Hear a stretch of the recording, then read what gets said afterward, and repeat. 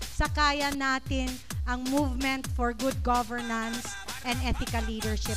Kasi po kami naniniwala na ang good governance at ethical leadership ay hindi lamang po para sa mga opisyal pero para sa ating lahat. Kaya po kami nandito ngayon. Kami po ay isang volunteer corps Ah, volunteers po kami lahat. Meron po kaming full-time jobs. Pero para sa bayan, nandito po kami. Nalalaman po ninyo sa San Isidro na ipinagmamalaki po namin ang aming mga kaya nating champions.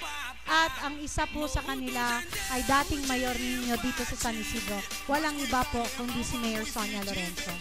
Kaya po, kikita po ninyo, sinusuportahan po natin tuloy-tuloy ang ating trabaho. Kahit naman po ay iba na po ang kanyang pinagkakaabalahan ngayon. Ah, gusto ko pong bigyan ng pasasalamat na special thanks sa mga kasama natin sa gobyerno.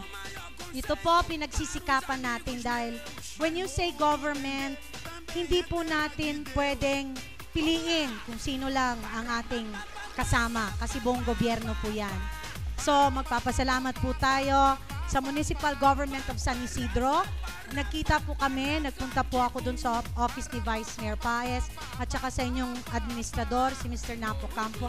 So thank you very much to the Municipality of San Isidro.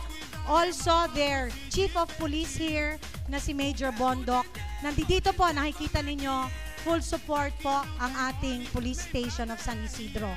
Ah, kasama din po natin ngayon Ah, si Colonel Pasaporte, galing pa po siya sa 703rd Brigade doon sa Apalit kasama ang kanyang medical team. Kasama po siya ni Captain Ruelos din po from the 703rd. Nandito po ang ating Special Operations Command from Fort Magsaysay. Um, kasama po dito ang 7th ID, ang ating doktor po, ah, si Captain Candelaria, nandito rin po. At nandito rin from Pampanga, Regional Office ng Police. Nandito po yung ating mga doktor at headed po sila ng, ah, nandito rin po yung ating Provincial ah, Police from Nueva Ecija. Nandyan si Colonel Castillo. Yung mga magagandang babaeng sexy po dyan, mga police po natin yan. So nakikita po ninyo, they've made an effort to come. So sa ngayong araw na ito, um, maririnig po ninyo iba't ibang programa ng gobyerno.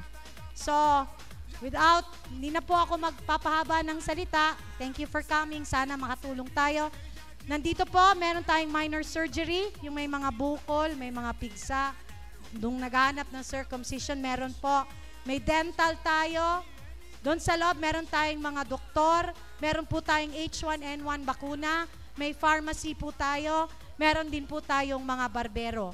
At maya-maya, makikita po ninyo yung ibang kasama po po natin sa kaya natin. Naasahan po nating makakarating si um, former Governor Grace Padaka to give you an inspirational talk. So without uh, delaying, ita-turn over ko po kayo kay uh, Mayor Sonia